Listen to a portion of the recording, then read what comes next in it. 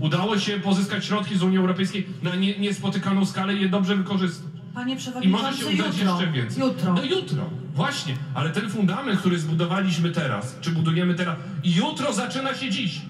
Jutro to, to, to dziś, tylko że jutro. I to naprawdę... No, to nie są, ale... E, e.